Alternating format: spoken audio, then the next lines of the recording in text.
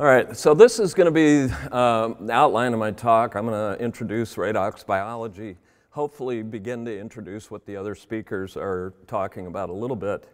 I'm going to talk about mitochondria as the major source of endogenous oxidative stress in cells. Um, talk a little bit about mitochondrial function and biochemistry associated with feed efficiency.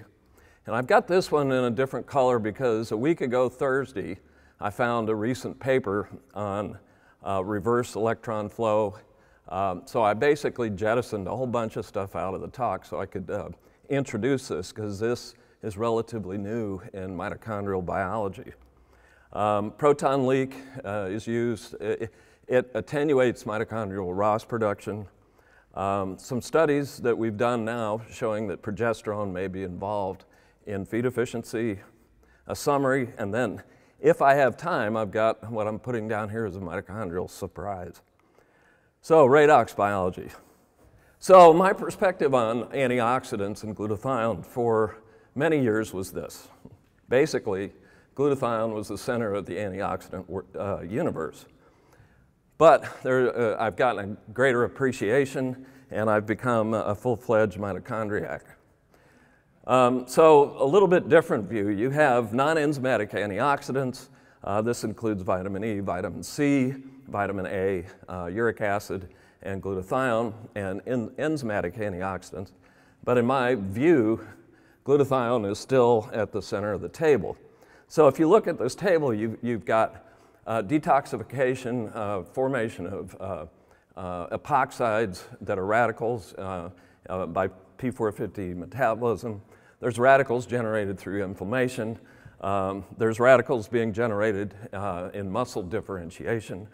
Mitochondria isn't the center because they're producing lots of radicals uh, as a consequence or in addition to um, uh, oxidative phosphorylation.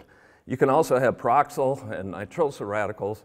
Over here on the right are a bunch of cofactors that are used for many of the enzymatic antioxidants. So I've got those as forks, knives, and spoons. Uh, is very important in sequestering uh, ions. You don't want free metal ions ro roaming around because this will cause uh, oxidation. So it's an antioxidant table with an oxidant feast.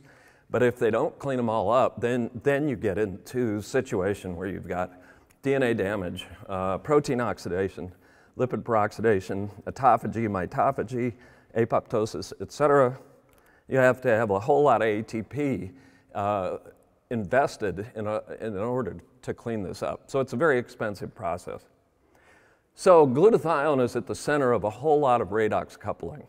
Uh, uh, glutathione is in millimolar uh, concentrations in virtually all cells, um, and so it's very central to this. And I know that uh, subsequent speakers are going to be talking about uh, selenium with uh, glutathione peroxidase. Um, so there's, there's many of these uh, um, redox coupled reactions, and it should be recognized that glutathione is also very beneficial in uh, regenerating uh, vitamin E or tocopherol from oxidized form dehydroascorbate back to vitamin C. So it's very central to, to much of the antioxidant protection. So this is electron micrograph of mitochondria. Uh, the electron transport chain is on the inner mitochondrial membrane. But the mitochondria, it sort of gives a false sense of what the mitochondria look like. So this is a scanning electron uh, tomography, and you get more of a sense of this three-dimensional structure. So these are the cristae, rather than seeing just the nice little cristae in the electron micrograph, they're, they're three-dimensional. Uh, the endoplasmic reticulum surrounds the mitochondria, so this facilitates a lot of the transport of things uh, in and out of the mitochondria. Uh, and the, the mitochondria is sausage shaped, uh, and they, they extend throughout uh, the cell, and they're not static. They don't just sit there in one place. They divide, they uh, fuse, and they can move around in the cells. So this is uh, kind of going to be a quick overview of mitochondrial biology. Just noting this, glutathione is synthesized in the cytosol and it's imported into the mitochondria. The mitochondria can't make their own uh, glutathione. So it participates in the glutathione recycling uh, reaction for de, uh, antioxidant protection. Now, on the top and the bottom of this are electron transport chains, and I show it with the different complexes. Um, substrates can either enter in from succinate, FADH linked on the top, or NADH linked substrates on the bottom. These are multi protein uh, complexes, and so they, they consist of uh, nuclear encoded proteins as well as mitochondrial DNA encoded proteins. And so they have to be constructed uh, in, in order to get optimal activity of the complexes. Then, as oxidative phosphorylation occurs, electrons move down the electron transport chain. You get pro proton pumping uh, across uh, into uh, the intermembrane space. And then when the protons flow back through ATP synthase, this is what generates the energy for ATP production. But AD, ATP and ADP, they have to shuttle in and out of the mitochondria, and they do this with a combination of a couple of proteins. It's ANT is adenine nucleotide translocase, and then VDAC is voltage dependent activated channel. What happens with oxidative phosphorylation is that electrons leak out of the electron transport chain. They do univalent reduction of oxygen to form superoxide, and the superoxide can then uh, form additional uh, uh, reactive oxygen species. The white shark of the uh, reactive uh, oxygen species is hydroxyl radical. And a lot of it, like metallothionein and some of these other things, the reason that they're there is to sequester iron and copper so you don't get uh, hydroxyl radical formation. Um, one thing that also goes on in the mitochondria is a thing called proton leak. And proton leak dissipates the membrane potential. A higher membrane potential results in higher ROS production. And so the proton leak, it's a self-limiting uh, system within the mitochondria to try to lower the amount of electrons that are leaking out. If oxidation continues, then you can have formation of oxidized glutathione, the GSSG. This gets to um, where you can have protein disulfides forming, these are damaged. So you end up with protein damage, so they're not doing what they need to be doing. And then the reactive oxygen species, they can cause damage, especially hydroxyl radical. It, it nails anything uh, that it bumps into. But you can have oxidation going on of all the structures uh, around it. And then finally, you get signal transduction. So you can modulate gene expression through uh, ROS production. So this is, this is a quick little paradigm. We've been working on uh, feed efficiency for some time. So this was done in conjunction with Cobb Vantress in a pedigree uh, male broiler line. Um, so at six weeks of age, they took 100 birds, put them in individual cages, did uh, individual phenotyping. And then what we did is we took the top eight and the bottom eight from this, and this is basically what we've uh, been using in our studies. Um, just to put this down, and, uh, there's a big difference in feed efficiency. So it was 0.8 in the high feed efficient group and 0.61 in the low feed efficient group. So a very large difference in feed efficiency. So this is oxidative phosphorylation. Electrons enter, as I said, from malate or NADH linked or succinate, and the electrons flow from complex 1 to 3 or complex 2 to 3, and this shuttling is carried out by coenzyme Q, and then it flows down until the, uh, it gets to uh, reducing oxygen to uh, water. So that's in uh, quick summary Along the way, hydrogen ions gets pumped, sets up proton motive force, and that's what's driving ATP synthesis. But what's electron leak? Basically, electron leak is these, they get fumbled. The, all of these proteins, it's not 100% that they're able to transmit the electrons down the transport chain. So they get fumbled, and when they do, they react with oxygen to form superoxide that's converted to hydrogen peroxide by superoxide dismutase and formation of, of reactive oxygen species. To magnify this or to locate where these defects are occurring, you can put in chemical inhibitors. Uh, rotenone is used to block complex 1, and then uh, antimycin A or myxothiazol uh, can block at complex 3. Now, in the, when this started, this started in the 70s and pretty much through the uh, 2000s. Um, it was basically all ROS were bad, they were causing damage, and that was the end of the story. Um, and I'm going to show you in a little bit that that's not always the case. So this is a study we did. This is in breast muscle mitochondria. Um, we had a basal condition, no inhibitor, or we treated isolated mitochondria with various inhibitors. And so the low feed efficient, which are in the open bars, we saw uh, increase in reactive oxygen species from complex 1 and complex 3 uh, compared to the high feed efficient phenotype. So there were defects in electron transport in the low feed efficient mitochondria. We did a, a, number of tissues along the way, and so this is looking at basal radical production. And in, uh, in, in breast muscle, duodenum, and liver, and in all cases except in uh, leg muscle mitochondria, we saw higher basal radical production uh, in the low feed efficient mitochondria. The increased radical production resulted in increased protein carbonyl formation. Protein carbonyls are oxidized proteins. So the first uh, bar up there is for breast muscle mitochondria, big difference in protein oxidation. And then the others are other tissues. All of them had higher uh, protein oxidation in these homogenates than in uh, low feed efficient compared to high feed efficient. So there's basically a uh, pervasive oxidative stress uh, going on in the low feed efficient uh, broilers.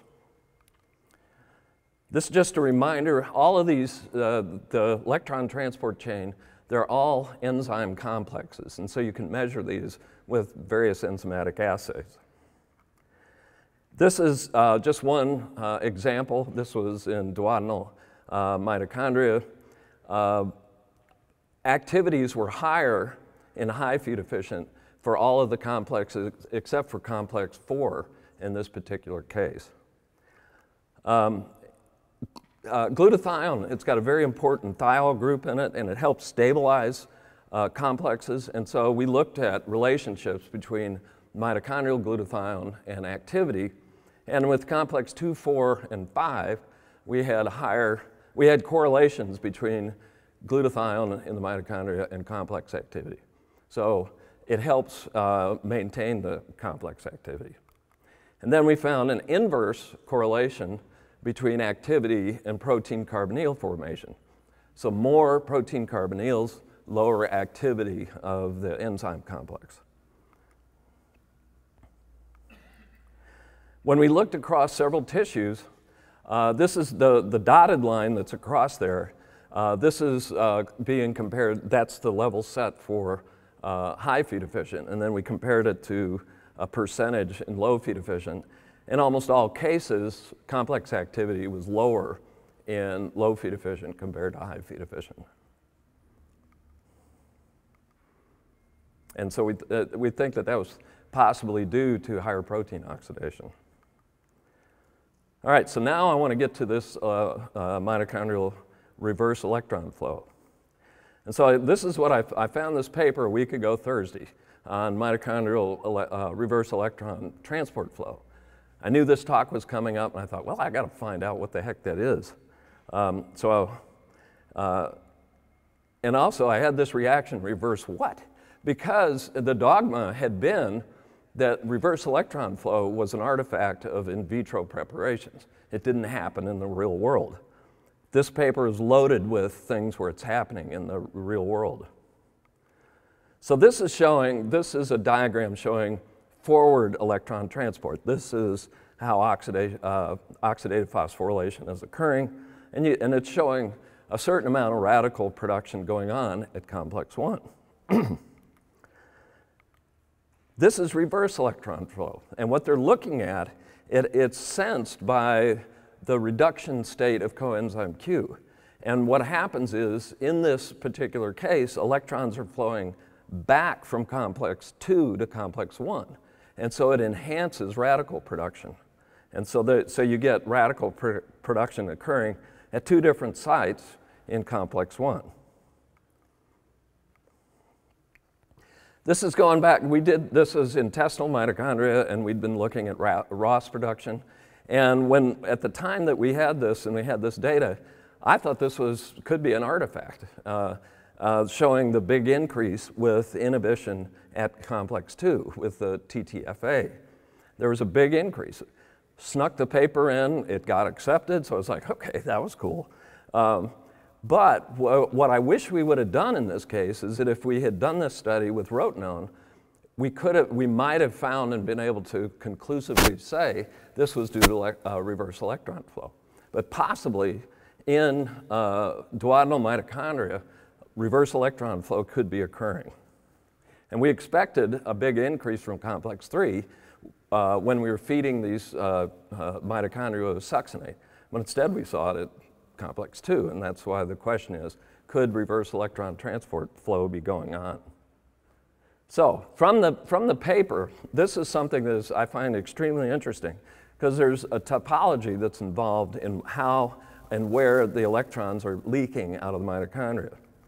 So from complex 1, which is at the bottom, there is ROS production, electron leak re resulting in ROS production. And it, this electron leak goes primarily into the mitochondrial ma matrix, and it's primarily associated with oxidative damage. But from complex 3, the third one up there, it, it gets released, the electrons get released mostly into the cristae space, in the intermembrane space, and it has, it's predominantly involved in signal transduction. It has some uh, oxidative component, but when these are separated out, complex one was primarily, or yeah, complex one was primarily involved in oxidative stress. Complex three is where signal transduction is being uh, induced. And this is a really interesting paper. We're all aging. As we're sitting here, every one of us are aging.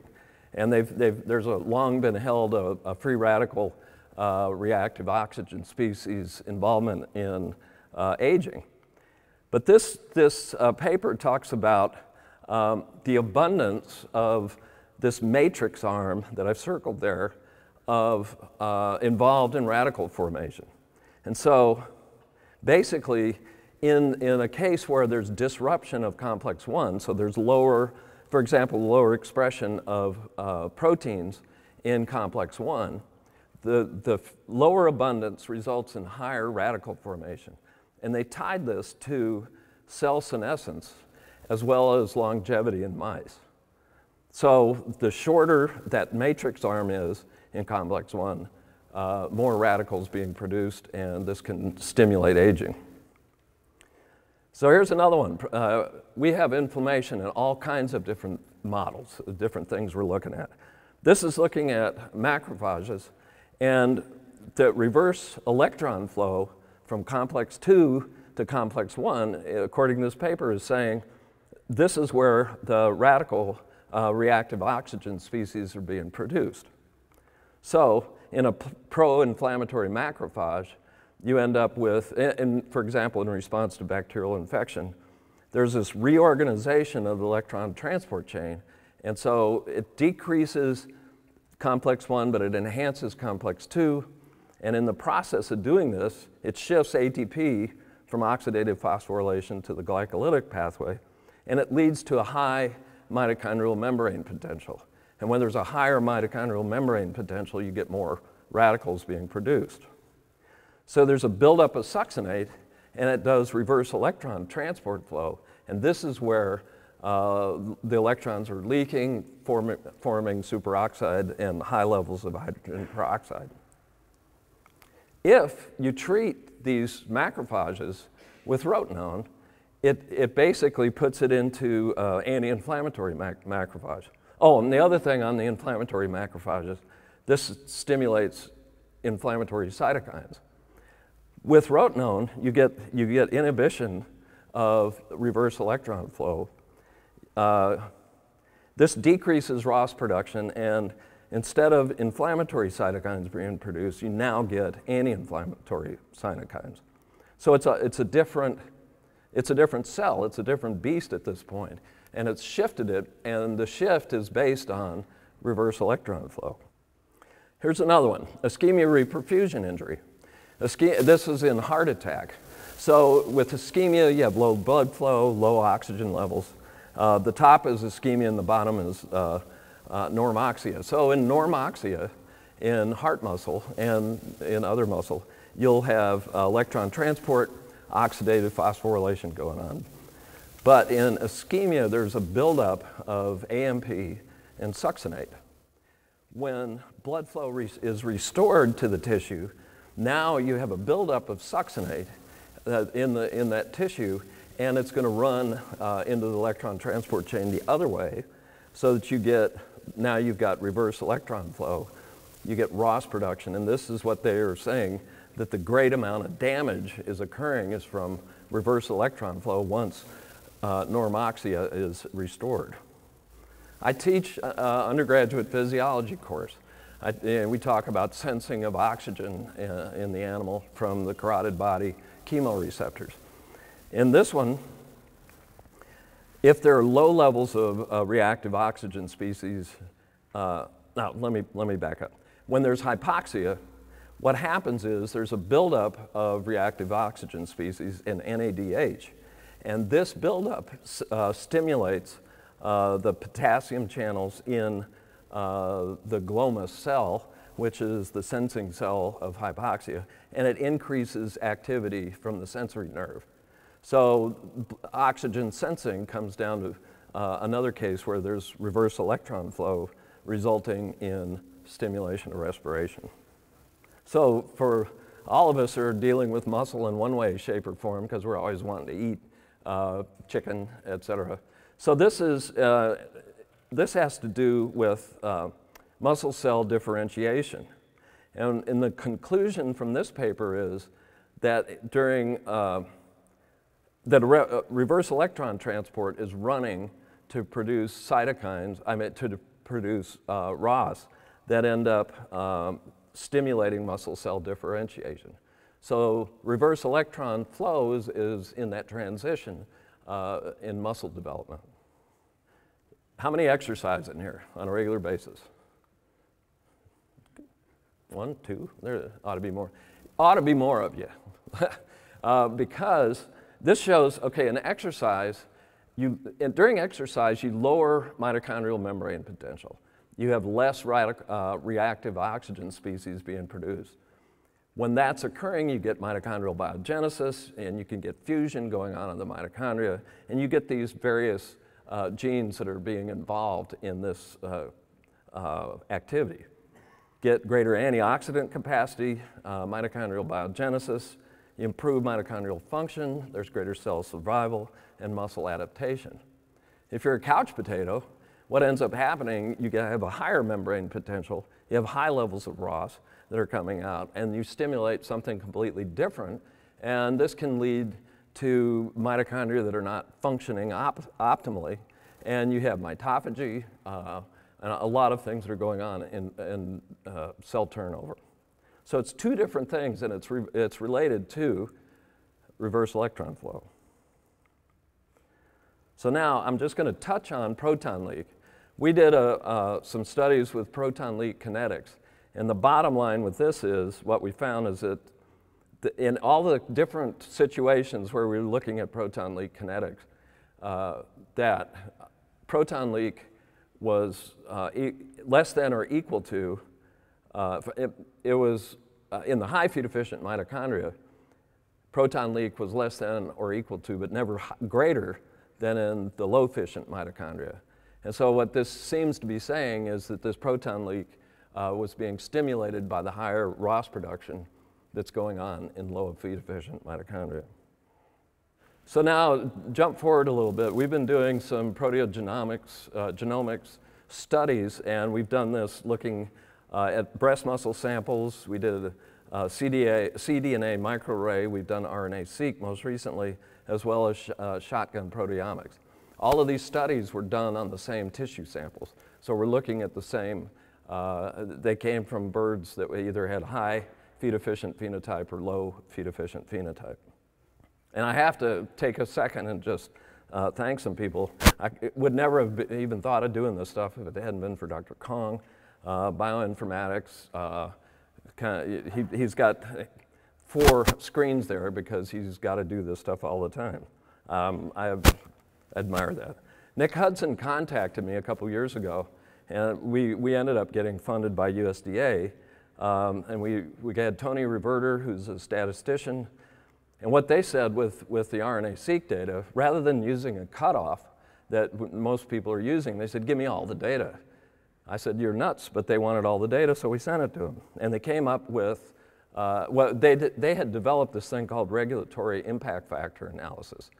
I'm not going to go into this. Um, I, I, basically, they're described in these papers, um, and it has to do with a, a differential wiring analysis. You can have a gene that could be having a big effect on the phenotype through its interconnectedness. But you don't see it if you're doing the cutoff with a fold or uh, difference or a p-value. So they just took all of the data. Whoops, oh good. So they did the regulatory impact factor analysis, and, and through this analysis, they came up with progesterone signaling is playing an important role in feed efficiency. And we just published this a couple months ago in uh, BMC uh, Systems Biology. So five uh, or four out of the top 10 uh, regulatory impact factors had to do something with, with progesterone. We, in the proteomics uh, paper that we did, we also found that uh, progesterone was predicted to be activated in the high feed efficient phenotype. And I want to point out here that also there, appears to be insulin and triiodothyronine uh, uh, that are predicted to be activated. So why, these are immature male broilers. Why progesterone? Why in the muscle? So I started looking and found a couple of papers that talked about uh, hormonal involvement in mitochondrial function. So when we co I compared what we had found with mitochondrial function uh, in the comparison high and low feed efficiency to what they found with progesterone in a couple of these different models. Uh, and it had to, the progesterone was protective of mitochondrial function in ischemic, uh, in um, traumatic brain injury. So they, in feed efficiency, they had higher uh, coupling, higher uh, respiratory control ratio, lower state four. Uh, we had lower ROS production. That was also seen, lower electron leak uh, in the uh, brain studies, lower oxidative stress, and there was higher complex uh, 4 activity. We saw a number of complexes, all of the complexes were basically lower or higher in high feed efficiency. So progesterone seems to be having an effect in the central nervous system similar to what we were seeing with the mitochondria in high and low feed efficiency. And then this led to a whole bunch of papers. They've known this in mammals for some time. We looked in the literature, but we didn't see anything in avian cells that this had been documented. It doesn't mean it's not out there, we just haven't found it yet. So Kentu Lassiter, and I can't uh, say enough about what he's been doing. He's been working with me for a long time. Thank goodness, don't go anywhere. Uh, Otherwise, I'm, I'm out of work. Anyway, so he did these studies. This is in QM7 cells, looking at uh, expression of receptors on the mitochondria. So this is progesterone receptor uh, using immunofluorescence, and the merged figure at the bottom is indicating the presence of uh, these receptors on mitochondria. So we got it in these QM7 cells with progesterone, glucocorticoid, thyroid hormone, and insulin receptor. And he presented on Tuesday most recent findings, uh, which was estrogen also being located in these QM7 cells. And importantly, uh, he was, he'd been trying to uh, identify through Western uh, blot analysis the, the presence of these hormones. He had a lot of uh, um, non-specific binding, so it wasn't clear. He got a monoclonal, and now we have a very clear uh, indication that estrogen receptor is located in, uh, on the mitochondria because this is the mitochondrial fraction. So now I want to return to redox biology. And nuclear respiratory factor is, uh, it orchestrates a cell response to oxidative stress. So it stimulates the antioxidant response element in the nucleus to help with preparing the cell or conditioning the cell to oxidative stress. This is a real simple diagram, but in a normal situation, NRF2, NFE2L2 is bound to a couple of regulatory molecules, KEAP1 and CUL3. It's bound if no oxidative stress is present. It turns over every 10 to 15 minutes uh, through proteasomal degradation. If oxidative stress is occurring, it breaks these bonds that are holding on to NFE2L2. It then goes into the nucleus, stimulates antioxidant response element, that stimulates production of antioxidant enzymes and uh, antioxidants in the cell to respond to the oxidative stress. So in the shotgun proteomics, we found uh, that it was predicted to be activated in the high feed efficient. The orange is indicative of activation in the high feed efficient phenotype. And uh, Nan Zhou, uh, who did a master's with Behnam Abasht, they found this with RNA-seq in a broiler, commercial broiler model. So they also found that they were, it was predicted to be activated in high feed efficiency. So these, were, these predictions were made, but, but the molecules, the downstream molecules upon which the prediction was made were different between the two sets. So there's a, a slight difference there, but the prediction was the same. So possibly this activation or upregulation of NRF2 uh, in the high feed efficient broilers helps orchestrate or respond. It prepares these high feed efficient cells to handle oxidative stress better than the ones than the low feed efficient. It's a hypothesis at this point. NRF2 is very transient. It's very hard to measure these things because it's, it's changing very rapidly over time. So here's kind of a summary that I've got. I hope I've, you know, importance of redox biology and oxidative stress, talked a little bit about electron transport, mitochondrial ROS production, and how that's attenuated by proton leak. Um, mitochondrial reverse electron transport. Uh, I, I, really think that these papers in the last three or four years are highlighting something new that has fundamental importance to what every one of us are doing.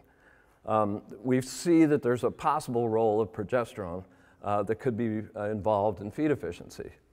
And then uh, it could be uh, the antioxidant response may be coordinated by NFE2L2. So now I want to, these are a couple other things that we've published recently. How am I doing on time? Almost up. Almost up. I'm get, he's getting the hook out. Um, I'm going to skip this. This is some other stuff that we've, we've published. Martin Brand uh, recently published this. There's not just three sites of electron leak, there's now 10 sites. So now these are different sites that are within the mitochondria.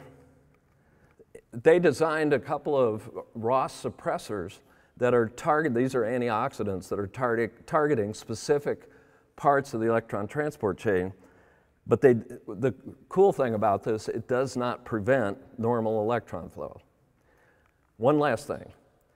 The mitochondria may be playing a role in uh, fixing damaged proteins. And this is a paper that came out in March. Um, they name this uh, mitochondria as garden, uh, guardian and cytosol or magic, so just leaving you with a little bit of mitochondrial magic. Thank you.